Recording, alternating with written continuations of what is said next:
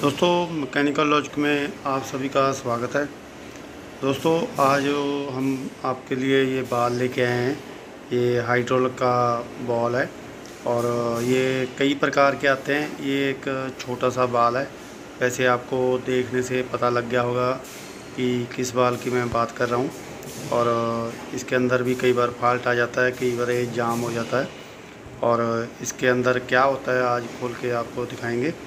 और ये वाला जो बाल है पायलट ऑपरेटर चेक वाल है ये और जैसे हम ज़्यादातर इसकी जो करते हैं, जब हमारा ट्रैक्शन कंट्रोल वाल यहाँ लगा होता है तो उसके नीचे ये लगता है। तो ये दो प्रकार के होते हैं, एक तो ये आता है यूकन का, और ज़्यादातर यही लगा होता है मशीनों के पास। ज़्यादातर यूज़ होता है सीएनसी में, और यहाँ पे आपने किसी चीज़ को क्लैंप करके रखना है ज़्यादा देर।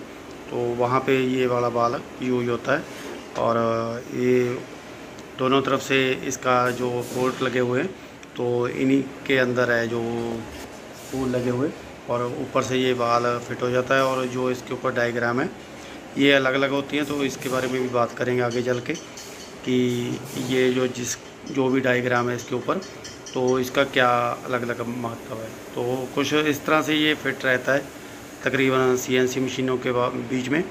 तो जहाँ पे हम चक्के में क्लैंप करके रखते हैं। तो अभी हम आपको खोल के दिखा रहे हैं इसको कि इसके अंदर क्या है। जब हम इसका ये नट खोल लेते हैं तो इसके अंदर कुछ भी नहीं है। तो दूसरी साइड जब हम निकालते हैं तो एक स्प्रिंग है इसके अंदर। और स्प्रिंग के बाद एक स्पूल है। और स्पूल के अंदर एक पिस्टम है छोटा सा। तो इसको अभी मैं थोड़ा बाहर निकालूँगा, तब आपको पता लगेगा। ये सीट आगे जाके बैठ जाती है। अंदर ये बॉल के अंदर और जब इसको थोड़ा टेढ़ा करेंगे और अभी इसके अंदर ये बाहर आ गया ये पिस्टम है इसका तो ये लॉक कर देता है यहाँ से हाइड्रोलिक को। और जो ऊपर आप सराख देख रहे हैं ये बड़े तो जितने बाहर को मतलब बैक साइड को होता जाएगा, स्प्रिंग को पीछे धकेलेगा इस तरह से बाहर आएगा तो उतना इसके अंदर प्रेशर चला जाएगा और उसके बाद ही लॉक कर देगा प्रेशर को। तो अभी इसके अंदर और कुछ भी नहीं हुआ है, बस जो होल बने हुए हैं दोनों तरफ़ तो एक साइड इसके ऑयल आएगा और दूसरी साइड से ऑयल बाहर निकल जाएगा। तो इसको अगर ये जाम हो जाए तो इसको आप डीजल से अच्छी तरह से धो के और साफ़ कर लें और इसको दोबारा से साफ़ करके इसी के अंदर उसी तरह से लगा दें जिस तरह से आपने निकाला था। तो इसको अभी हम इसके अंदर फिट कर रहे हैं जैसे हमने निकाला था। तो इसके साथ कोई कोयल नहीं लगती, ये सिर्फ़ कंट्रोल करता है जैसे इसके अंदर प्रेशर जाएगा। तो ये स्प्रिंग थोड़ा एक साइड हट जाएगा, जैसे ए की तरफ़ प्रेशर जाएगा तो ए वाला स्प्रिंग थोड़ा बैक साइड हटेगा तो पिस्टन इसका अंदर से तो बाद में लॉक कर देगा वहाँ से, ताकि जो हमारा प्रेशर है, वो एक जगह मेंटेन रहे और उसको छोड़े ना। जहाँ किसी चीज़ को आपने दबा के रखना हो, कि वहाँ से प्रेशर कम ना हो, जहाँ पे मान लीजिए आपने क्लम्प अनक्लम्प करना हो कहीं भी, जहाँ किसी जॉब को क्लम्प करके रखना हो, उसके लिए। इसी तरह से आपने दूसरी साइड खोलना है इसको। वहाँ से भी एक स्प्रिंग निकलेगा और उसी तरह का ये पिस्टम है इसके अंदर। तो उसको आराम से आप निकालें और इसको भी आप डीजल से अच्छी तरह साफ़ कर दें दोनों तरफ़ से। तो पहले एक तरफ़ खोलें, उसी को साफ़ करके लगा दें। उसी तरह से उसको बंद करने के बाद दूसरी साइड खोल के इसी तरह से उसको स्पूल को बीच में रख के और उसका पिस्टम को बीच में लगा के उसी तरह से स्प्रिंग के साथ और ऊपर से जो ये लॉक नट है तो इसको अच्छी तरह से जो है आप टाइट कर दें ताकि ये खुले ना और लीक ना करे ऑयल। बांग में पकड़ के भी आप टाइट कर सकते हैं। और ये तीनों बाल ज़्यादातर लगते हैं मतलब अभी हम आपको दूसरा जो पायलट ऑपरेटर चेक वाल है जो। तो उसको खोल के दिखा रहे हैं। तो इसके अंदर मकैनियम वही है लेकिन थोड़ा सा फ़र्क है इसके अंदर क्योंकि कंपनी चेंज हो गई है।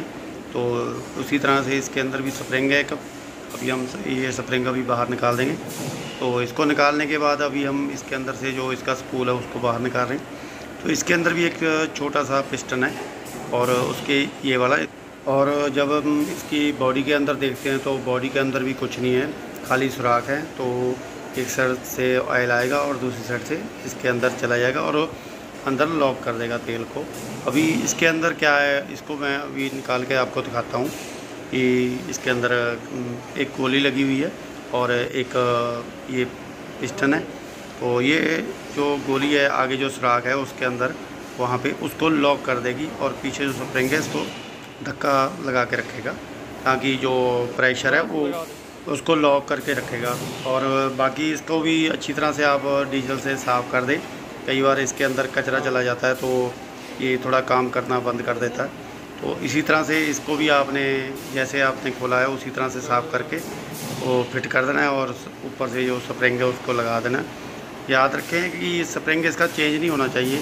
वैसे तो ये स्प्रिंग टूटता नहीं, अगर टूट भी जाए तो जितना ये इसके रिंग हैं स्प्रिंग के, उतना ही आपको डालना पड़ेगा, ताकि जो इसका टॉर्क है उतना ही बना रहे। तो इस तरह से ये मशीन के अंदर फिट रहेगा और आपका जैसे कोई सिलेंडर लगा रखा है आपने कोई नीचे फोर्स लगा के दबाना है उसको तो ये ये दोनों तरफ़ से लॉक करने के लिए और ये प्रेशर के लिए लगा हुआ है, इसके साथ रिलीफ बाल लगा हुआ है और इसके साथ ऊपर आपको ये बाल मैंने बता दिया, ये सिंगल भी आता है कि एक तरफ़ से ही आपने लॉक करना है दोनों तरफ़ से आपने लॉक करना है।